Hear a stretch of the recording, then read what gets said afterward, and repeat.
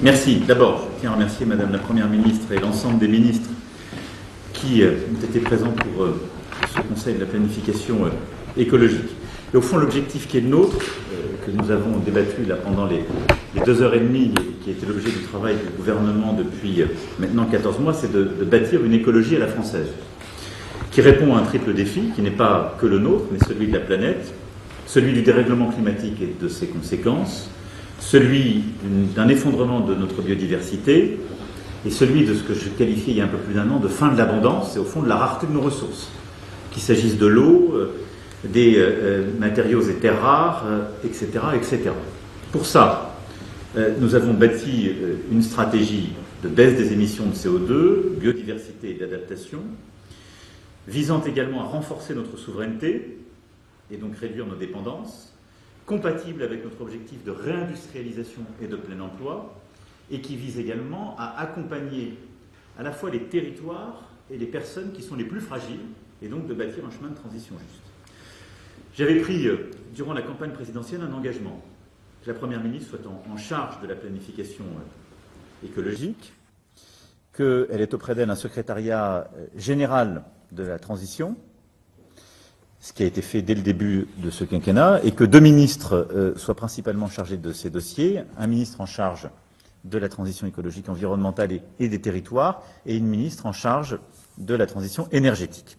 Ces engagements ont été tenus et la planification qui a été validée aujourd'hui est le fruit de 14 mois à la fois de travaux, de concertation dans le cadre des conseils nationaux de la refondation qui a été largement débattu. Et donc le plan d'aujourd'hui, ainsi validé, décline plusieurs dizaines d'actions qui vont nous permettre de réduire nos émissions de CO2.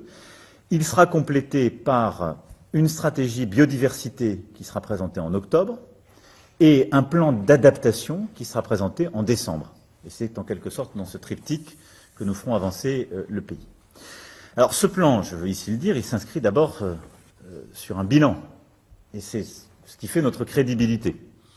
Nous avons ces dernières années commencer le travail pour la biodiversité en luttant contre l'artificialisation des sols, en protégeant nos forêts, en abandonnant aussi des grands projets, la montagne d'or en Guyane, à Europa City, aux régions parisiennes. On a renforcé une politique aussi de souveraineté écologique ces dernières années, les voitures, euh, une stratégie batterie qui nous permet d'avoir donc quatre euh, grandes usines de batteries, en particulier dans les Hauts-de-France, qui sont le fruit de ce travail. Nous avons développé une stratégie claire sur l'aérien avec l'interdiction des vols domestiques dès qu'il y a une alternative en train, relancer les petites lignes, les trains de nuit, euh, en lien avec nos régions, relancer le chantier à la fois de la régénération de notre réseau ferroviaire, avec les réformes et les réinvestissements, et des lignes à grande vitesse partout où elles étaient euh, adaptées. Et donc c'est sur cette base, et je ne veux pas être trop long sur le bilan, mais c'est tout ce bilan qui nous permet d'avoir d'abord des résultats. Nous avons, durant les cinq dernières années, réduit nos émissions de CO2 deux fois plus vite qu'auparavant. Et là où on les réduisait environ d'un pour cent par an, on les a réduites de 2% par an entre 2017 et 2022. Et donc, euh, pour que nos compatriotes mesurent l'effort qui est demandé, au fond, si on prend l'effort total depuis 1990, on a fait la moitié du chemin. C'est l'autre moitié qui nous reste pour euh, atteindre la réduction de 55% des émissions de CO2 à horizon 2030. C'est donc un chemin qui est atteignable. Il suppose d'aller 2,5 fois plus vite sur les cinq années à venir. Et donc là où on a ces cinq dernières années baissé de 2% par an les émissions, bah, de réussir à baisser sur la période 2022-2030 de 5% par an ces émissions. Et de le faire par une stratégie qui, je crois, correspond à ce que la philosophie d'ensemble qui a toujours été la nôtre, qui est une politique de sobriété mesurée, ce qu'on a fait sur l'eau, ce qu'on a fait sur l'énergie ces derniers mois, où les efforts sont partagés, une politique d'innovation, où euh, on investit là aussi sur l'innovation technologique, et ce que porte la mission France 2030 et chacun des ministères, et une politique de transformation de tous les comportements, ceux du consommateur, par en particulier l'étiquetage, la responsabilisation, ceux des producteurs, ceux des financeurs, qu'ils soient publics ou privés, avec les mécanismes d'éco-conditionnalité. Et donc c'est cet ensemble que nous allons continuer de décliner. Et au fond, cette écologie française, pour moi, elle repose sur quelques principes simples, que je veux ici euh, détaillé pour euh, conclure notre propos et euh, le plan d'action qui tient en quelques dizaines de pages et est beaucoup plus ambitieux que je ne saurais ici revenir en détail. D'abord, j'insiste sur ce point, c'est une écologie qui est basé sur la science et sur les résultats objectifs. Tout ce qui est présenté dans ce plan repose sur les études du GIEC, sur tout ce que je viens d'évoquer du premier quinquennat, et donc des éléments élaborés, documentés par nos scientifiques. Et c'est pour ça que ça n'est ni une écologie du déni, ni une écologie de la cure qui serait incompatible avec euh, euh, la tenue d'un modèle productif et social qui est le nôtre. Ensuite, c'est une écologie souveraine. Et j'insiste sur ce point. Et notre souveraineté est en effet renforcée par euh, la décarbonation. En effet, au fond, toute cette stratégie, elle va nous permettre de réduire notre dépendance à ce qu'on appelle les énergies fossiles, essentiellement le charbon, le pétrole, le gaz énergie que d'ailleurs nous ne produisons pas, donc nous, dépendons. Les études ont très bien montré, et, elles ont conforté cette stratégie, qu'on va passer au fond de 60% d'énergie fossile à 40% en de 2030 grâce à cette stratégie. Et donc on va réduire notre dépendance, et avec pour moi un objectif qui est absolument fondamental dans cette décarbonation, c'est la sortie du charbon. Je pense que la priorité que nous nous sommes donnée pour le pays et que nous allons porter à l'Europe et à l'international, c'est sous ce mandat, et donc euh, d'ici au 1er janvier 2027, d'être totalement sorti du charbon pour la production de notre électricité. Et c'est cette sortie du charbon qu'il faut porter en européen et pour le monde, et qui correspond là encore aux objectifs que nous fixe le GIEC, qui fixe la barre de 2030 pour sortir du charbon. La France sera en avance sur ce rendez-vous grâce à cette stratégie. L'écologie souveraine, c'est aussi celle que nous avons euh, déployée à travers la stratégie dite de Belfort, c'est-à-dire notre triptyque sobriété et efficacité énergétique, déploiement des ENR, donc des énergies renouvelables, et euh, nucléaire. Et donc sur ce volet-là, la stratégie que nous avons validée aujourd'hui, s'appuyant là aussi sur ce que nous avons euh, consolidé, eh bien, permettra de mettre en consultation notre politique pluriannuelle de l'énergie dès octobre, d'avoir réunion politique euh, en octobre et novembre sur euh, le déploiement de l'éolien en mer, qui permettra de lancer le débat public sur l'éolien en mer et qui nous permettra de tenir l'objectif des appels d'offres sur l'éolien en mer à horizon fin 2024, ce qui est absolument clé, et d'avoir une loi sur la production d'énergie pour le mois de décembre. C'est ainsi que nous consoliderons le renforcement de notre souveraineté, cette décarbonation de notre production d'énergie, et tout ça s'accompagne aussi de notre stratégie européenne, parce que cette écologie souveraine, c'est celle que nous portons en Europe avec la taxe carbone aux frontières, c'est celle aussi qui nous a conduit, et je vais y revenir dans un instant, à euh, développer des filières industrielles sur notre sol et à avoir une stratégie du Made in Europe. Deuxième élément, justement, c'est une écologie qui crée de la valeur économique et qui s'appuie sur une stratégie industrielle. C'est ça qui est derrière ce plan et sur lequel il faut euh, ici euh, insister. Au fond, notre dépendance aux énergies fossiles, ça nous coûte 120 milliards par an. Et nos compatriotes doivent l'avoir en tête.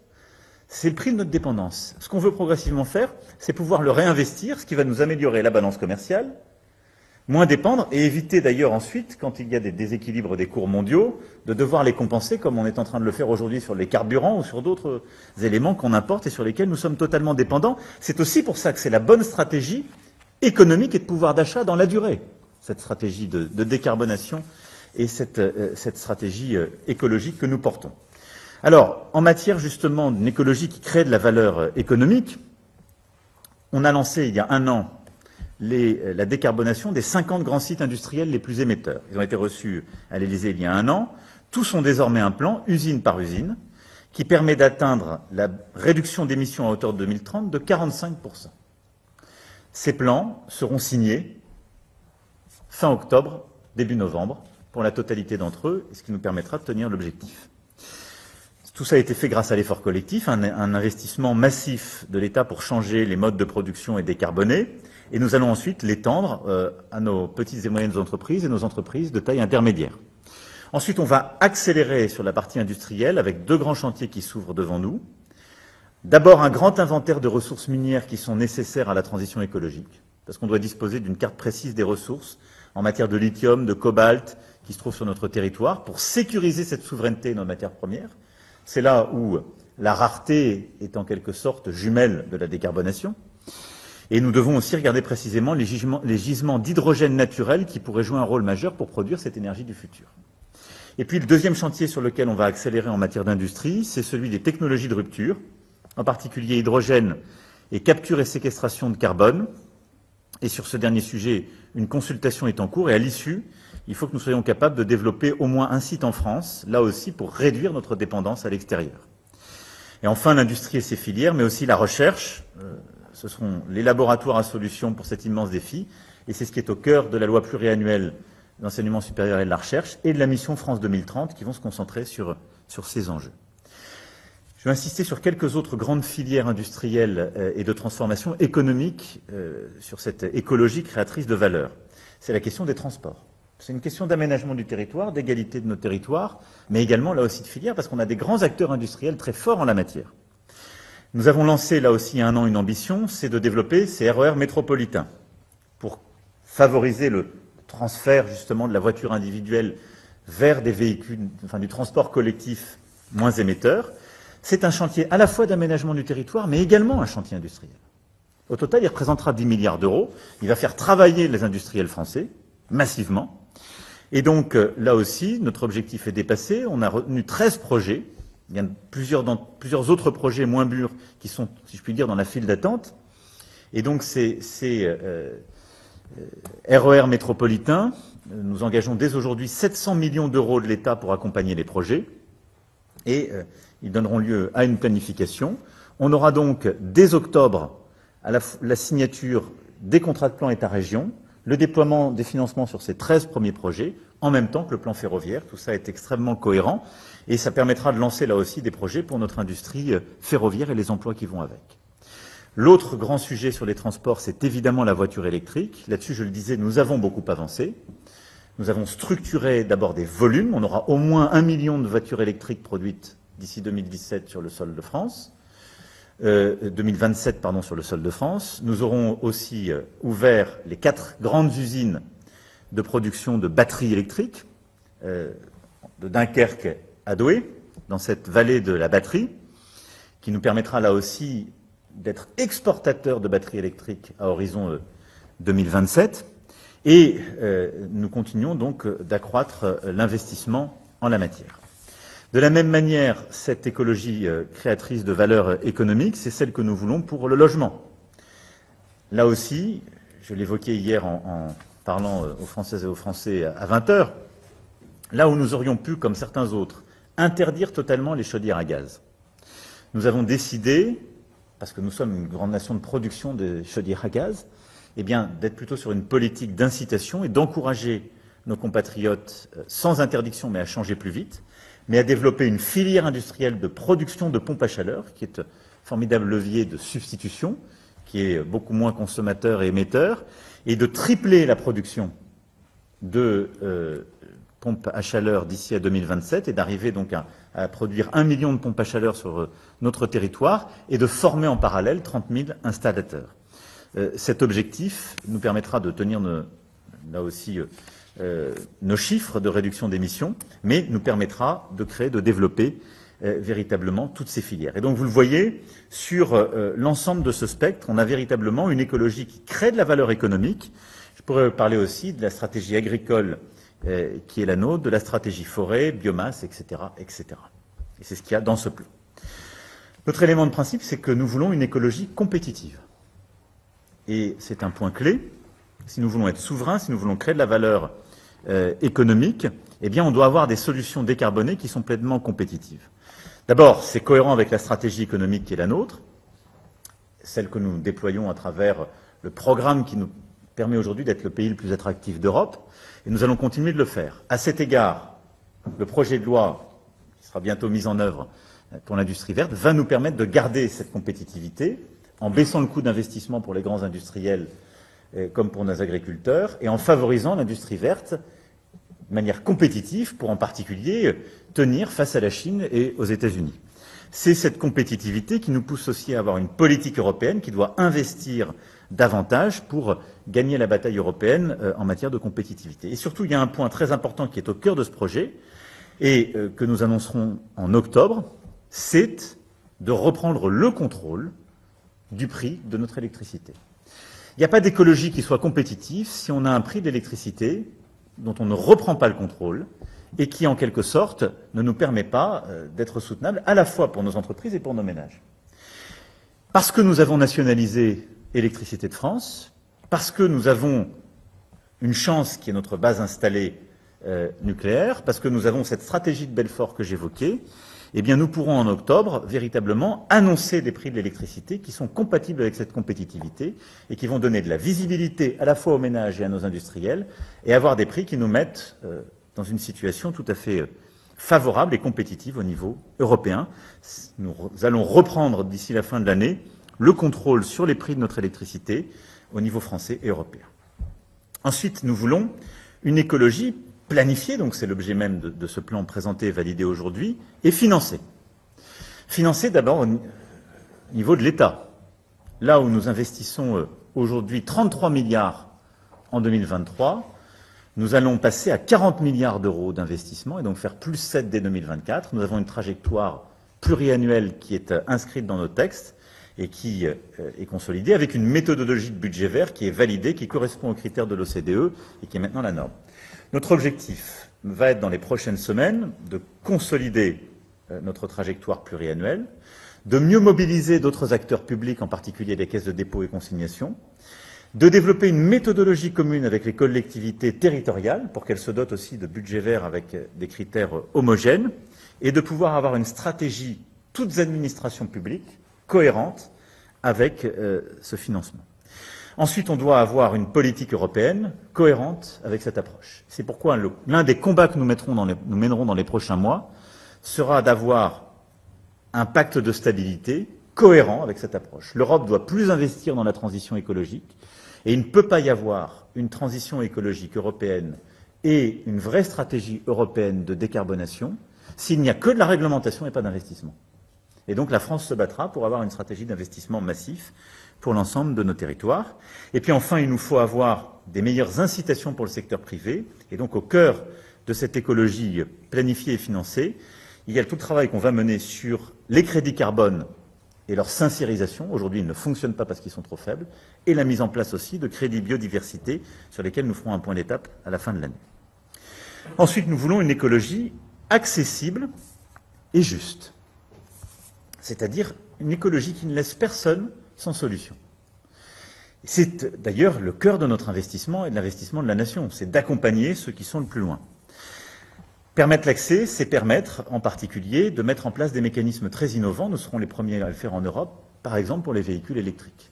C'est pourquoi, dès le mois de novembre, nous serons en situation euh, justement de révéler ce dispositif de leasing à 100 euros pour les premiers modèles de véhicules électriques.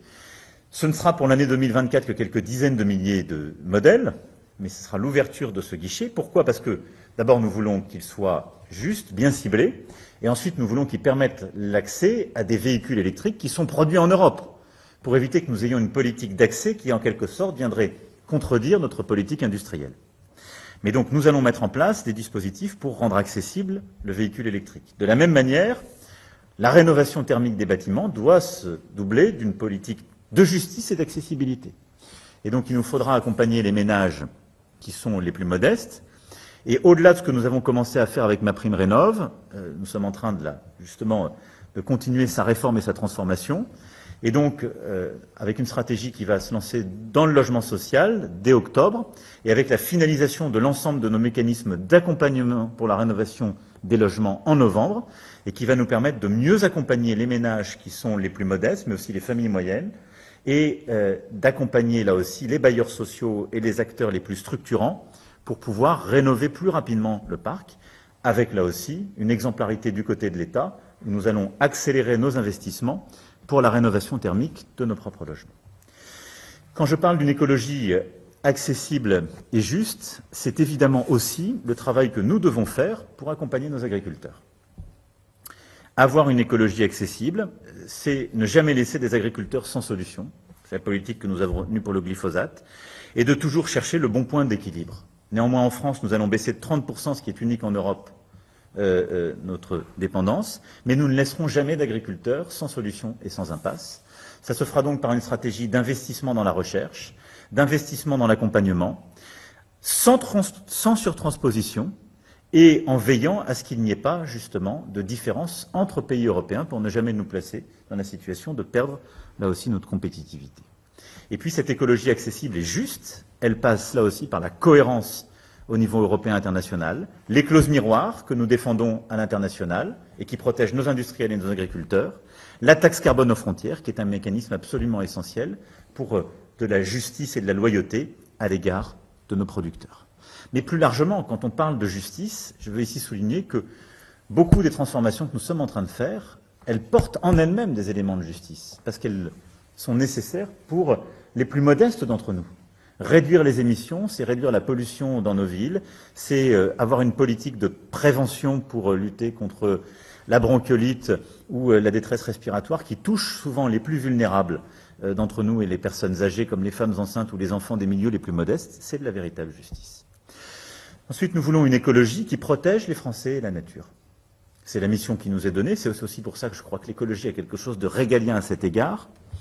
Et c'est ce qui est au cœur de la stratégie d'ensemble qui est la nôtre. Travailler avec les agriculteurs pour leur permettre d'avoir par l'écologie une réponse à la baisse des rendements, par l'agrivoltaïsme, la biomasse, les euh, euh, carburants euh, durables, qui sont des mécanismes de revenus complémentaires, mais qui vont permettre justement de protéger leurs revenus, travailler avec les forestiers pour leur permettre là aussi de protéger et reconstituer la forêt, et qui viendront compléter la stratégie forestière qui est la nôtre, à la fois de protection et de plantation d'un milliard d'arbres nouveaux d'ici 2030. Travailler avec nos outre-mer, qui concentrent l'essentiel de notre biodiversité pour avoir cette stratégie que nous déploierons en octobre. Travailler pour, au fond, protéger notre nature et nos paysages, ce qui montre que notre écologie est aussi euh, une stratégie de, préservation de notre cadre de vie, de notre richesse de biodiversité et au fond de nos paysages qui constituent l'identité profonde de la France. Ensuite, nous voulons euh, une écologie qui soit territorialisée. La stratégie qui a été présentée aujourd'hui et détaillée point à point est une stratégie qui est le fruit d'un très gros travail, d'une concertation qui a euh, associé toutes les parties prenantes. Elle sera dès le mois d'octobre par euh, un débat que la première, ministre et le ministre en charge de la transition lanceront sur le terrain, territorialisé dans chaque région. Et notre objectif est maintenant que ces objectifs nationaux soient partagés au niveau des territoires et qu'ils soient déclinés avec, au fond, des objectifs qui sont, eux, intangibles et une liberté qui est donnée sur les moyens et le chemin à atteindre. Des indicateurs et des responsabilités clairement établies pour que nous puissions distinguer, si je puis m'exprimer ainsi, ceux qui sont engagés ont des résultats de ceux qui, en quelque sorte, décident de ne pas jouer le jeu, et pour que ce soit clair pour l'ensemble de nos compatriotes. Et donc nous allons mettre en place des budgets verts territoriaux, des vraies libertés d'action, mais en même temps des objectifs clairs et des responsabilités partagées au niveau des territoires. La maille est régionale, mais c'est au fond chaque bassin de vie qui sera responsabilisé. Et donc nos communes auront un rôle très important à jouer nos intercommunalités agglomérations, évidemment, euh, les départements seront insérés dans ce jeu avec un accompagnement en matière d'ingénierie territoriale pour que les bonnes réponses soient apportées sur le terrain.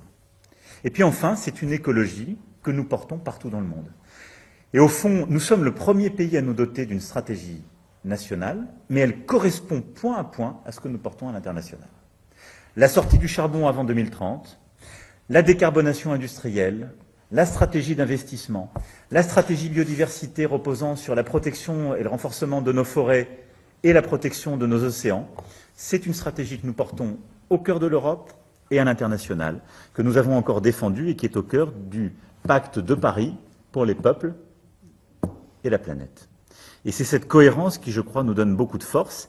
Et c'est l'ensemble de ces points qui structurent cette écologie à la française que j'évoquais, qui ne décide pas de rouvrir des centrales à charbon, qui décide de ne pas abandonner ses objectifs même quand c'est difficile, mais qui sait concilier une ambition climatique avec plus de souveraineté, avec une stratégie industrielle, avec la création d'emplois à travers les principes que je viens d'évoquer. Et je souhaite que l'ensemble des formations politiques qui concourent à la vie de la nation, lorsqu'elles condamnent parfois trop vite le nucléaire, se rendent compte que tous les scientifiques tous les scientifiques nous disent qu'il n'y a pas une stratégie qui existe sans le nucléaire. Que ceux qui nous expliquent qu'au fond, la taxe carbone aux frontières ne serait pas une bonne chose quand ils refusent de la voter à l'Europe, se rangent à notre solution, parce qu'il n'y a pas de politique loyale sans taxe carbone aux frontières pour nos Européens. et que sur chacun des points que je viens d'évoquer, nous puissions bâtir le maximum de concorde. J'ai compris que c'était ce qui ressortait des consultations politiques que la Première ministre avait tenues, à l'exception d'une formation politique qui a fait le choix de ne pas s'y rendre, pour des raisons qui m'ont encore échappé. Mais euh, je ne peux pas imaginer que ce ne soit par désintérêt, c'était sans doute par oubli. En tout cas, sur tous ces sujets, je veux remercier euh, Madame la Première ministre, les ministres en charge, le secrétariat général à la transition euh, écologique. Très bon travail, on le voit.